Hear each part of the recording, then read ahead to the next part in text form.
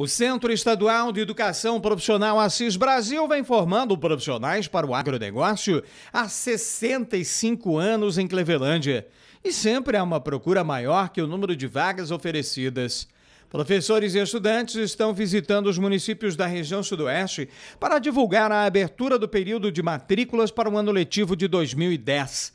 A professora Sirlene Facim destacou que o período de matrículas foi antecipado neste ano. Abriram agora dia 23 do 9 e se estenderão até o dia 15 do 10, então. E lembrando que há a opção né, do curso pelo regime de internato. Exatamente, Beto. A gente tem essa opção, então, gratuito. A gente é, tem uma. A gente está oferecendo o curso aí no sistema de internato, né? Então, eles ingressam no ensino médio aí e a gente está oferecendo em média de 160 a 200 vagas aí em sistema de internato.